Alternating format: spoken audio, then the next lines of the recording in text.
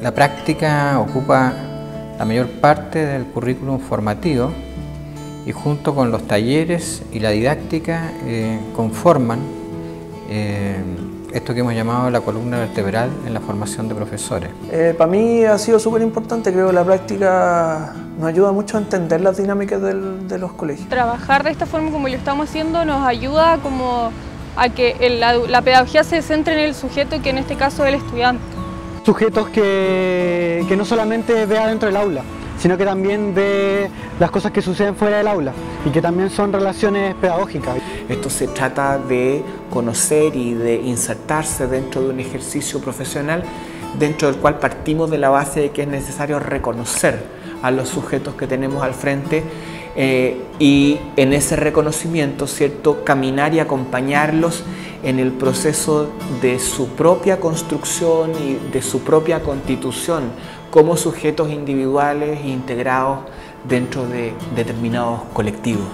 Los tutores, además eh, de ser tutores de la en la universidad,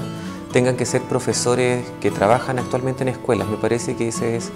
un punto que enriquece absolutamente las prácticas, la experiencia formativa de los estudiantes del DEP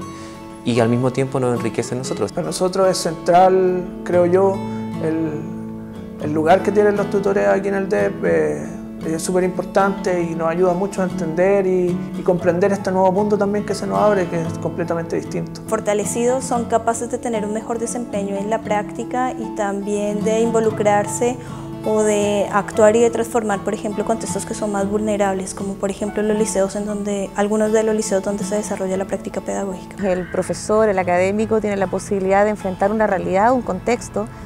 que muchas veces es muy complejo, que es el contexto escuela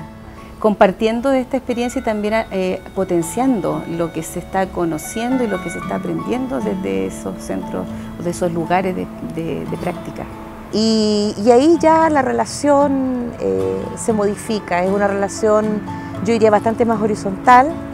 eh, de mucha reflexión y de ver cómo podemos hacer mejor aquello que tenemos que hacer, aquello que nos convoca, que es mirar a los escolares y ver cómo eh, aportamos a que ellos desplieguen, desplieguen sus alas.